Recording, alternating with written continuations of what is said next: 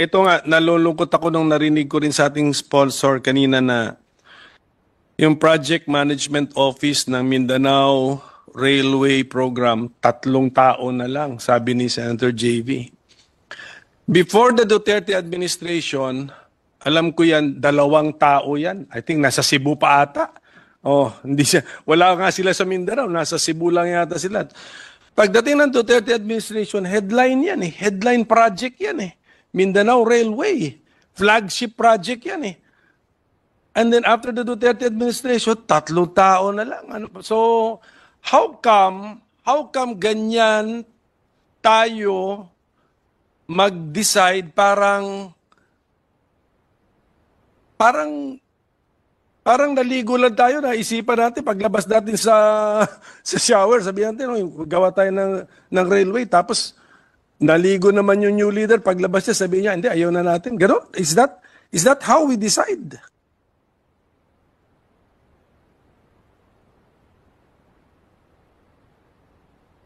De, tama po ba yung facts ko? Teka, uh, si Secretary naman, you have people there with institutional memory.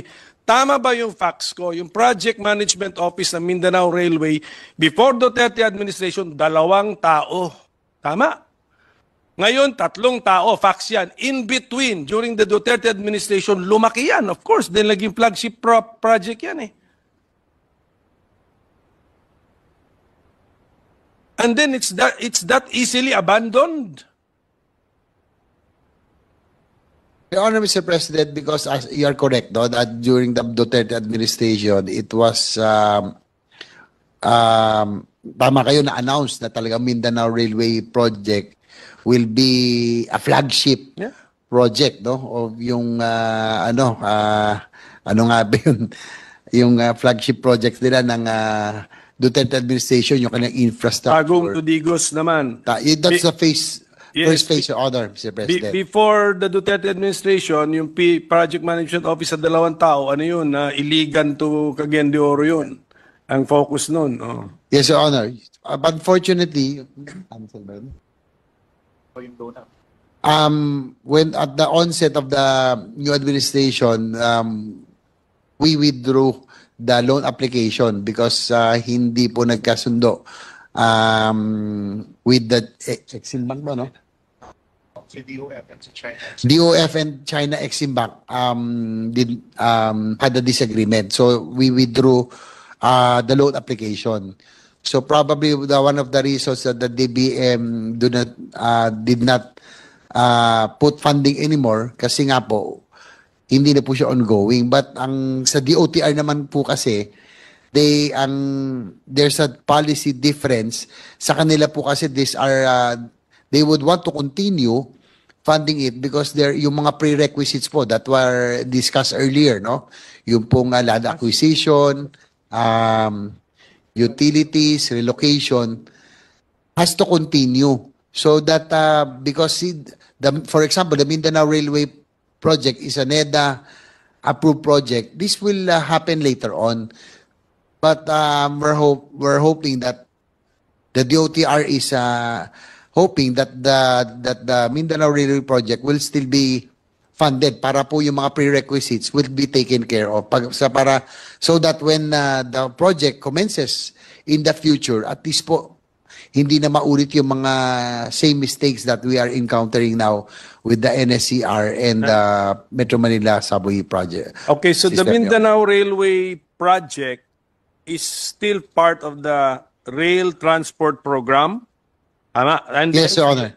And then when you planned your budget, what how much what is the amount that you gave to the project? So Mindanao Railway project under a program siya. So magkano po? Your Honor, Mr. President, uh, the DOTR is requesting 5.4 billion, Your Honor.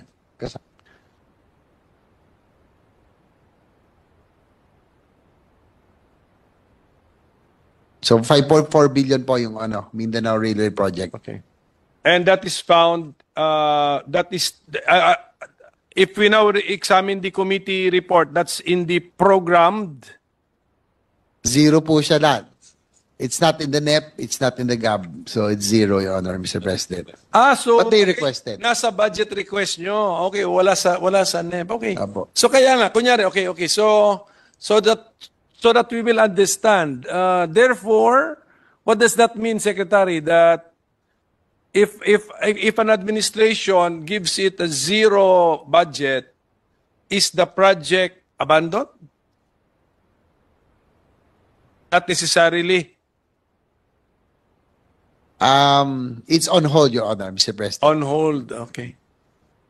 Because it's the Okay. NEDA approved project, so But definitely, we have incurred uh, expenses pursuant to that project. So, pwede nating, i- yung mga ganyan, yung mga projects on hold, eh, siguro, si Senator Joel Villanueva will have to also track the expenses for projects on hold. Idagdag yun sa commitment fees.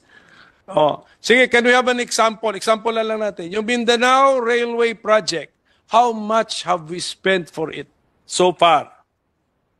Sige, kahit yung Tagum to Digos lang, yung, yung, yung uh, portion na yon. Example lang para malaman ng ating mga kababayan. while they are uh, looking for the total figures, Your Honor, uh, yung pong uh, Mindanao Railway System Project, yung pong uh, Phase 1, yung pong Tagum to Digos, um, they have already spent some uh, funds already for the right-of-way acquisition, Yes, oh. acquisition of land. Yes. Um, they have downloaded some funds to the LGUs, no? Uh, for the for the land acquisition, right? Um, also yung inform relocation among others, no? So ang problema ho ngayon because of the sa 2024, Yes, hindi na ho nilagyan, tatlo na lang po yung yung pong uh, personnel in Mindanao Railway, yung, yung monitoring will be a challenge. Your Honor. Th- That's why, in-example lang po natin now, uh, how, how wasteful we are with our money. But that's, this is, ano, yung, hindi naman ito numpisahan sa time ni Secretary, but pinapakita lang po natin yung sistema natin sa gobyerno kasi pera naman ng taong bayan yan eh. Oh, so, ilan po yon? Magkano po yon? Sample lang, example. Applyan natin.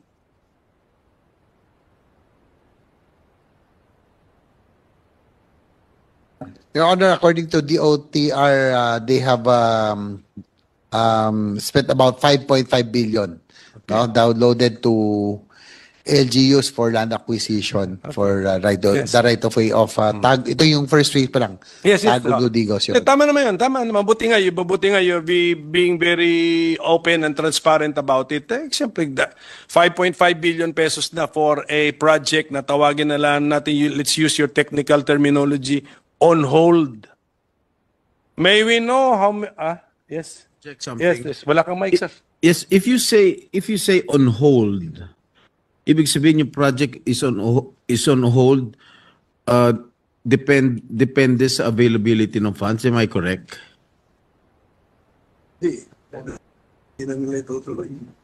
Ah, that is correct, uh, Mr. President. That uh, according to DOTR, additional preparatory works, no, prior to the loan agreement, if ever it pushes through, are not being done because of the lack of funding. In this case, for 2025, Your Honor, Mr. Mr. President, yung kanila pong 5.4 billion, yung sa NEP po is zero.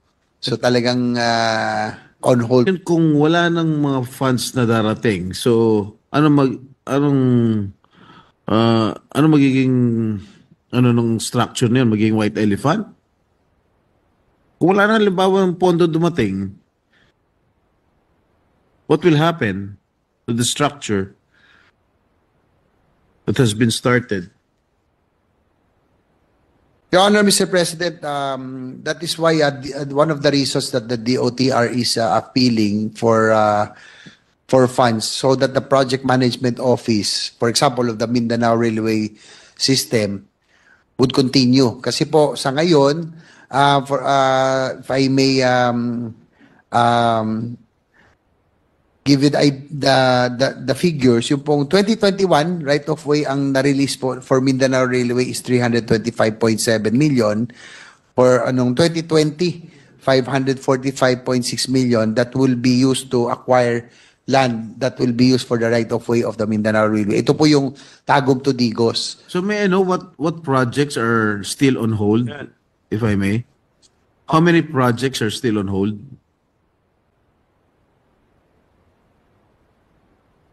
Hold. Kaya- With the indulgence of the minority leader. That's that's my, that was my next question. Your Honor, mostly the railway projects. No? Ito pong uh, Mindanao Railway System and uh, we, can already also consider South Long Haul. Although may funding siya ng konti noong 2024, kung hindi rin po mapopondo to, it will all will be on hold also. Ito yung South Long Haul, ito po yung Bicol line no uh, from uh, Metro Manila going to So so how many projects all in all, uh, Mr. Sponsor? total na. Priority na priority. Ah, apat po, Your Honor, Mr. President. Ah, sa tatlong railway, um, Metro Manila, Met, um, Mindanao Railway, South Long Haul, ito po yung Bicol, and uh, MRT4, ito po yung MRT going to ah, Rizal, no? Ito po yung papuntan Rizal, Taytay Rizal, and isama na rin po yung New Dumaguete Airport Project, no? Which uh, received zero Are allocation. these foreign funded projects? Yes, Your Honor, Mr. President. So kung hindi nagbigay, ang uh, ang hinihintay natin pondo galing sa labas, so hindi ma the project will not uh, push through. Your Honor, Mr. President, ito po yung magiging consequences, no? If uh, actual requirements will not be given to these uh, aforementioned projects, no? Delay on project preparation, such as procurement of uh, um, ito pong yung right of way, yung pong land acquisition, yung pong uh, relocation, yung pong uh, pag-ano sa contractor, no? Yung uh, engagement of the contractor and uh, start of construction itself. So all of this will uh, experience delays, Your Honor, Mr. President. Thank you, Mr. Sponsor. Uh, Minority Minority Leader. Thank you, Mr. President. Yun yung next question ko mabuti. At saka thank you for being really, uh, uh, anong tawag mo doon, uh, upfront with us, uh, DOTR. At least apat, na we can say that uh, not less than four major projects are, infra projects are on hold. Okay. Sige. Yes, that's Okay correct. po. Three railway and uh, one airport, Your Honor. Ah, rail, uh, isa, isa is a right, a light railway, yung M- MRT. MRT4, uh, go, yung po metro, uh, going to Rizal. Rizal line po ito. Rizal, Rizal line. Which is unfortunate kasi kasi to quote the president, sina, I think President Marcos announced a railway renaissance. Tama ba, Secretary? Do you confirm that? Did he say that? Minapa-double check ko ta. Did he say it? Yes, Your Honor, that's correct. There will be a railway renaissance.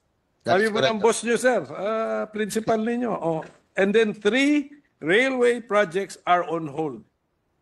So how do we, paano, how do we reconcile uh, words with uh, reality?